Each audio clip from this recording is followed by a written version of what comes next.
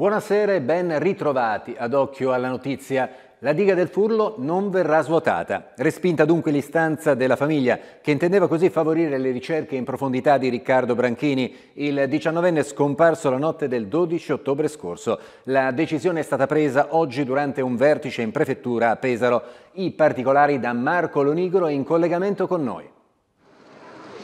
È trascorso quasi un mese dalla, dal giorno in cui è scomparso Riccardo Branchini. La sera del 12 ottobre, dopo aver parcheggiato l'auto con all'interno documenti, cellulare e vestiti alla diga del Fuglo, il diciannovenne è sparito nel nulla. Proprio in quella zona si sono concentrate le ricerche. Nei giorni scorsi la famiglia di Riccardo ha eh, avanzato una richiesta al prefetto, svuotare l'invaso per favorire le operazioni di ricerca in una zona piena di eh, insidie. Oggi al termine di una riunione in prefettura alla quale hanno partecipato tutte le eh, istituzioni come i sindaci, le forze dell'ordine e l'Enel, l'ente gestore della centrale del Furlo, è arrivata una risposta però negativa. La diga infatti non verrà eh, svuotata. A spiegare le eh, motivazioni il prefetto di Pesaro Urbino, la dottoressa Emanuela Saveria Greco. Sentiamo diga completamente eh, innanzitutto non è eh, possibile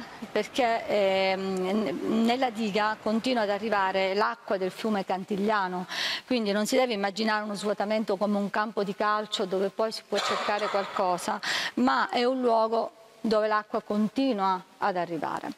E la diga poi è composta da mm, diciamo, mm, diverse zone eh, che presentano eh, dei, coni, dei, coni, molto profondi eh, dove c'è eh, materiale ehm, diciamo, melmoso che eh, anche qualora ehm, fosse diciamo, prosciugata oltre eh, la quantità che è stata già eh, prosciugata grazie ad Enel durante prime, i primi momenti della ricerca, ma su questo il comandante dei Vigili del Fuoco può essere più preciso, eh, quindi se fosse ulteriormente prosciugata peraltro di poco rispetto alla, eh, al momento precedente, eh, non consentirebbe comunque, proprio per come è, eh, è costituita la diga, ehm, in quanto non è in piano, eh, non consentirebbe la ricerca dell'eventuale del corpo del, di Riccardo. Quindi eh, lo svuotamento della diga porterebbe a un'esposizione di tutti gli operatori a, una, a un alto rischio, eh, all'impossibilità di raggiungere dei punti dove il corpo corpo eh, del ragazzo potrebbe essersi fermato, oltre che a un danno ambientale rilevantissimo in termini di moria di pesce e di quant'altro, ma soprattutto potrebbe non essere utile proprio al nostro fine. Il prefetto oggi ha sottolineato che nella diga non è stato ritrovato nessun oggetto di appartenenza a Riccardo Branchini. Attualmente è comunque attivo il piano per la ricerca delle persone scomparse e in procura è stato aperto anche un fascicolo. Le ricerche sono terminate alla diga del Furlo dove si è fatto il possibile, lo ha spiegato anche il comandante dei vigili del fuoco, ma proseguono le indagini in diverso modo. Sentiamo allora le parole di Lodovico Camilletti, il comandante dei vigili del fuoco fuoco di Pesaro Urbino.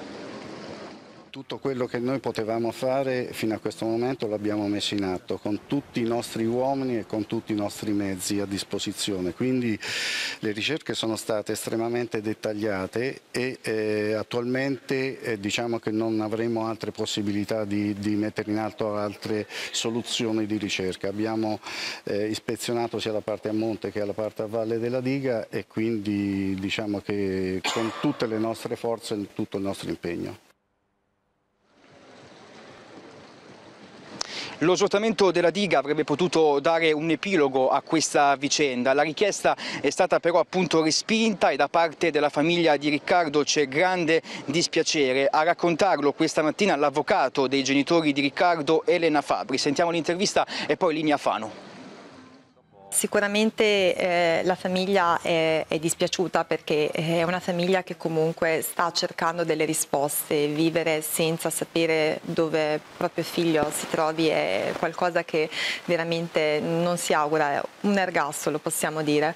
Eh, tuttavia eh, ci tengo a precisare che eh, ovviamente eh, questo non significa che eh, le ricerche sono sospese perché noi stessi insieme con la famiglia anche stiamo incaricando cercando delle persone proprio per continuare a cercare Riccardo, anche delle guide naturalistiche si sono messe a disposizione per la zona e ovviamente proseguono quelle che sono le indagini sul piano investigativo. Nulla esclude ovviamente che eh, Riccardo possa essersi eh, volontariamente allontanato e trovarsi altrove.